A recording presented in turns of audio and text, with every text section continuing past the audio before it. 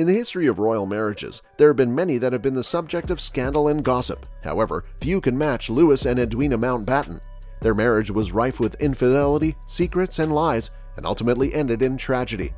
From their secret love affair to Louis's reckless philandering, the Mountbattens' marriage was anything but ordinary. In this video, we will take a look at the scandalous marriage of Louis and Edwina Mountbatten. We will explore their complicated relationship and uncover the secrets that led to their downfall. So sit back, relax, and enjoy this dramatic tale of one of the most infamous royal marriages in history. According to the history titled The Mountbattens, Their Lives and Loves, the British lord who was murdered by the IRA was involved in a controversial marriage. A history of Lord Louis Mountbatten shows that the British prince, who was assassinated by the IRA in 1979, was devastated by the relationships that were carried on by his wife, Edwina, throughout his lifetime. Andrew Lownie, a British historian, writes in his book titled The Mountbattens, Their Lives and Loves that the well-known couple ultimately decided to have an open marriage out of concern that they would bring disgrace upon themselves if they divorced one another.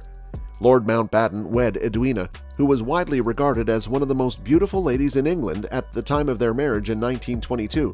The couple would go on to suffer a marriage that was distinguished by a succession of indiscretions.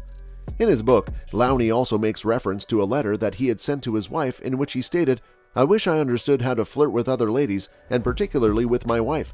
As Edwina's notoriety grew in the public eye, so did the attention paid to her personal life. In the end, Lord Mountbatten and his wife came to the conclusion that the only way for them to avoid the public humiliation of a divorce was to have an open marriage.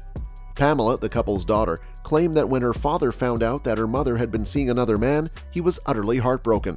But gradually, by drawing on their stories of profound mutual regard for one another, my parents were able to negotiate a path through this crisis and create a modus vivendi way of living in the process. When asked about the nature of her mother's behavior, the couple's daughter Pamela once revealed, When my mother returned from shopping one day, she was met with, Mr. Larry Gray is in the drawing room, Mr. Sanford is in the library, Mr. Ted Phillips is in the boudoir, Sieur Portago is in the anteroom, and I don't know what to do with Mr. Molyneux, Pamela recalled. It was reported that Edwina was having an affair in 1932 with West Indian cabaret singer and pianist Leslie Hutch Hutchinson at the London hotspot Quaglinos after the couple had chosen to have an open marriage. This occurred shortly after the couple had made their decision. If Edwina had been involved with a black guy at that era, it would have been the height of scandal for a lady of her standing to be seen in such a relationship. On the other hand, Edwina was not the only one carrying on extramarital relationships. Mountbatten started having an affair with Yola Letellier in 1932. Letellier was in her 20s at the time and she was married. According to reports, the two individuals maintained their friendship up to Mountbatten's death. Recent files made public by the FBI assume that Lord Mountbatten was a homosexual with a propensity for young boys.